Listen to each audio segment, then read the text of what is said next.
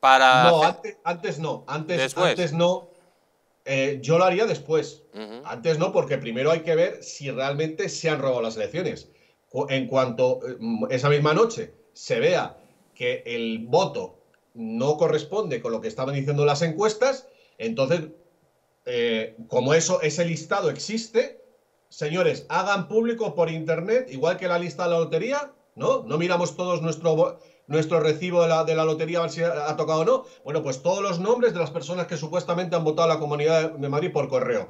Y todas esas personas que, que no han votado o que, o que incluso han ido a votar, que eso sucederá, está claro que va a suceder, cuando vayan a votar y les ponga que no han, que no han, que ya han votado por correo, bueno, pues ahí tendríamos un porcentaje sabríamos exactamente cuántos votos por correo, independientemente de que luego hayan podido cambiar los, votos por correo reales, pero a cuánta gente le han usurpado el voto.